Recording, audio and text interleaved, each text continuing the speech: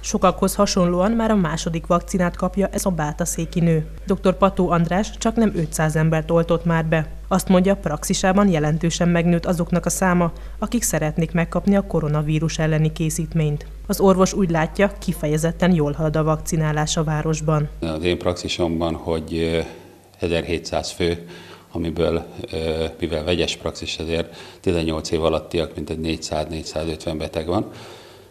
Tehát, ha 500 fő beoltása 1200 ember közül 500 ember beoltottunk, az már én úgy gondolom, hogy elég jelentős az oltottak száma.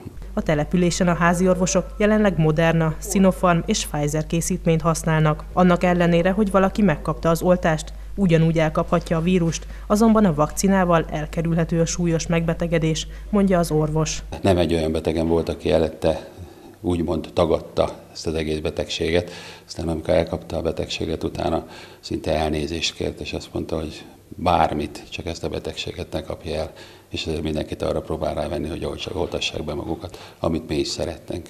A doktor azt is elmondta, hogy már Bátaszéken is elkezdődött a 65 évnél fiatalabbak oltása.